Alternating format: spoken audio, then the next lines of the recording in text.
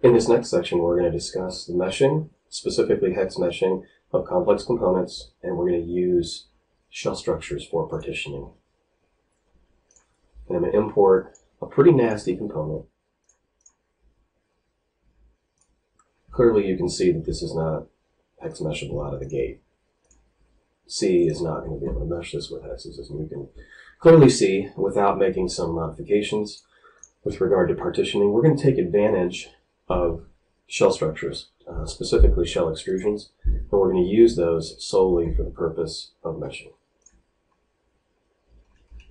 I'm going to jump on that top face and then just create some partitions. And what I'm doing now is creating shell structures. This might seem a bit strange if you've not done this before, but it's actually a very powerful technique. It's been within and captive within CAE for quite some time. So we're just going to take advantage of the natural geometry and tangencies of the component. And all I'm doing here is just creating shell geometry that I'm going to extrude. And again, this might seem a bit strange, but all we're going to do is just create some partitions. And these are partitions that might take you, if you didn't create them this way, uh, you, it would take many features 20, 30, 40 features easily. All right, so there's a couple more that we're going to create. Not too many. Just allow the,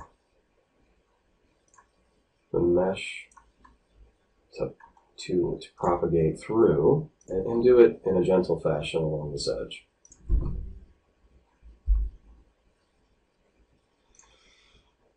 This part, this area here ends up being the most difficult aspect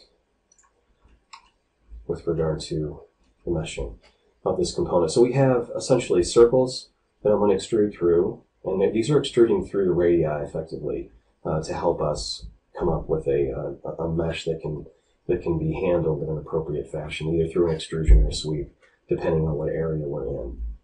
This should cover it. Now, you can see that the arrow is pointing up. I don't want it up, I want it down.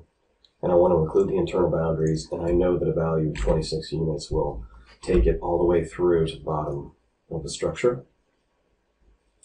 Okay, now, if I go to mesh, we can see first that we clearly, on all the volumes in the cells, we have a completely hex meshable component.